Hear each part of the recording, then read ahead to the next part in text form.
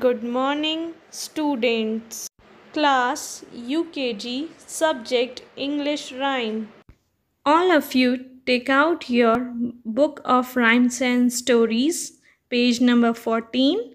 Today we are going to learn a new rhyme, and the name of the rhyme is I am a little teapot. Students, take out your book of rhymes and stories, level 3. This is your English rhyme book.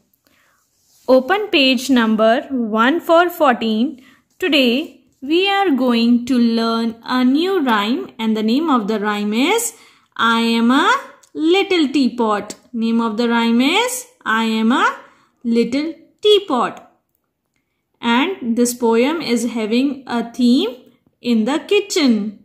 We can easily find teapot in the kitchen na? Yes, so this poem is all about a little teapot. See, this is a teapot. Now, I am going to recite this poem for you. Listen it very carefully. All of you pay attention. I am a little teapot, short and stout.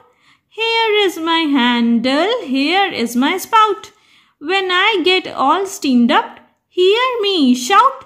Tip me over and pour me out. Yes. So, this poem is all about a little teapot. Again, students, I am going to recite this poem for you. I am a little teapot, short and stout. Here is my handle, here is my spout. When I get all steamed up, hear me shout.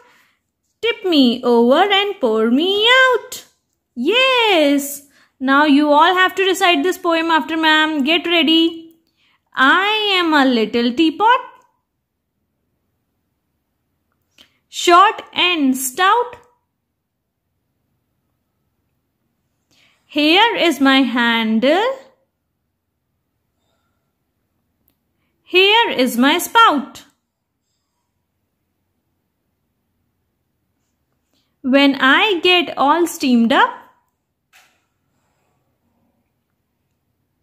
Hear shout. Tip me over